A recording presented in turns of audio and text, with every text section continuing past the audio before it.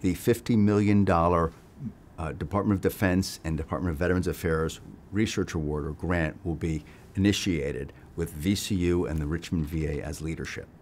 There's a clear understanding that concussions are an epidemic in sports, in the military, and in, you know, just in day-to-day life. It, it, it's, it's a major issue. Related to that, dementia is as well. There's a very strong belief in 2019 that, that you know, there's, there's cause and effect. We're not sure what's in the middle there. We're studying the middle piece.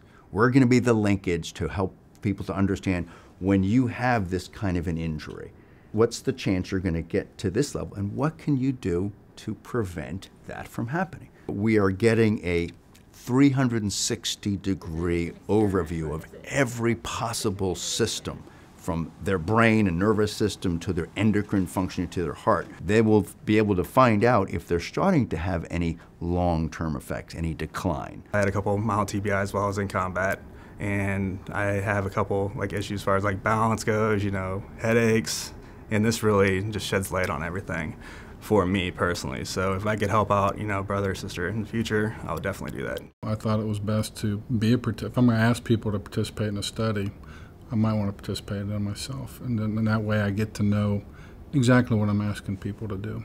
The major benefit is for our younger brothers and sisters who are getting ready to join or are still in the service, still getting injured.